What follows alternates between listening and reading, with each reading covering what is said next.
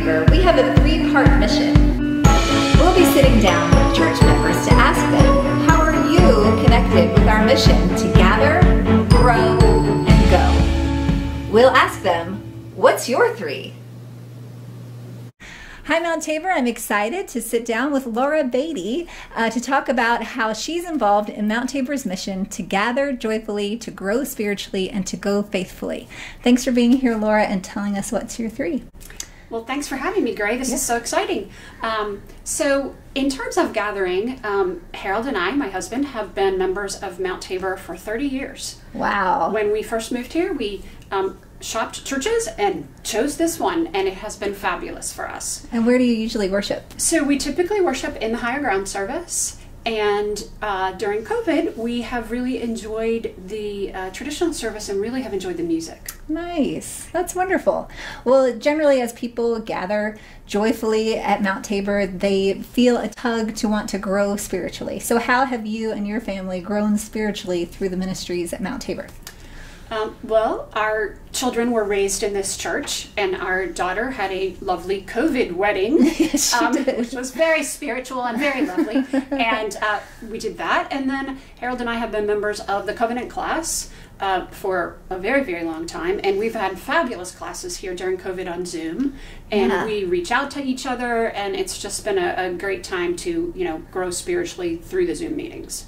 Do you feel like you really are still digging in on the spiritual growth, even on Zoom? I know some things don't translate, but is it I, worthwhile to yes, join? Yes, I really I think it's great. I love the interaction between all the different yeah. people on the Zoom call, and I love connecting with the people, um, hearing their commentary on the subject, as yes. well as being able to join in with their prayer requests and their praises. Yeah, there is still so much of a connection. Things look different, but it's a great way to connect with our mission and with each other. Absolutely.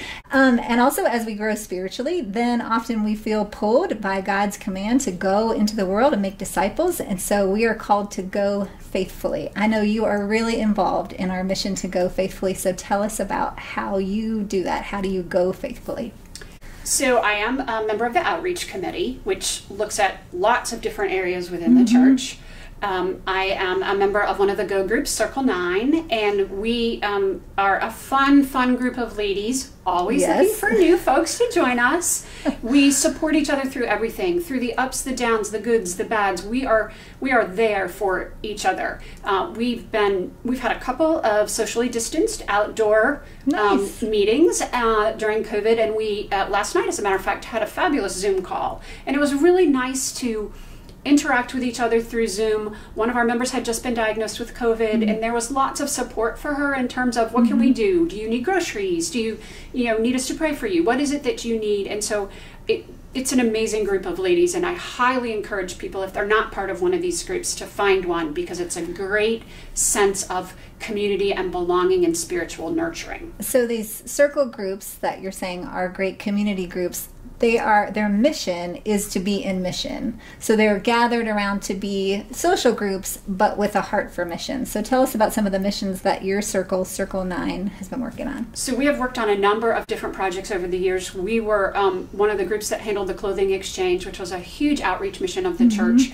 where we um, set up a big consignment sale and um, funneled the money that we raised into lots of different local charities. Mm-hmm. So we did that. We um, have adopted a cottage at Crossnore.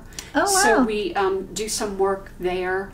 And then um, we are very involved in a project that is near and dear to yes. my heart, the Angel Tree, yes. which is going on right now. We currently um, are looking to help 307 children wow. this year. We've had as many as 390. So this year we have 307 through five different agencies in town where these children would not have Christmas. Mm-hmm. And so we have set up virtually this year, which has been yeah. a challenge, but we're doing great. And we look for folks to get a clothing and toy item for these children where you can sign up right now on the church website under yes. the event button. Great. Buy a couple gifts. Uh, wrap them and bring them back to the church for the next couple Sundays, and then we will get them distributed to all these children. So signups are still available. How many kids at this point when we're taping do you have available? We have about a hundred. Wow. Okay, so that's good progress, but a bit of a ways to go. Absolutely. And then when is the when are the gifts due back at the church? Um, the final day to drop off gifts is Friday, December 11th. Um, you know, Okay. 10 to 12 for the next three Sundays. We will be here. Great. And if you would like to participate, but you really don't feel comfortable shopping, Hmm. we are happy to take a donation. Um, you can send a check or go online and just put Angel Tree in the memo. And then um, Kathy Culver, our financial secretary, will get us that information. We will sign up for a child and shop on your behalf. so you have little elves that'll do our shopping Um, for us. we too. do have some little elves that will do the shopping for you and do the wrapping. That's almost Oh, that's, that's- a that's a big task. But we that's have really we have people that are um, happy to shop and wrap. Great. So um, we encourage folks so, So that we really- can get all these children. And anyone can get involved. I'm sure you could give five dollars, you could give a hundred dollars, and we can all get involved to support these kids. Absolutely, we take any donation because we can pool them together, and absolutely any any amount is fine. What a wonderful way to faithfully go into the world and spread the love of Christ. It's inspiring. It's great to hear how you're involved, and it's inspiring for us to hear these ideas of how we can get plugged in to the mission. You make it look easy. So thank, Thank you. you. Thanks for talking with us. Well, thanks, Mount Tabor. I'm excited to hear how you're involved with our mission. Let us know what's your three.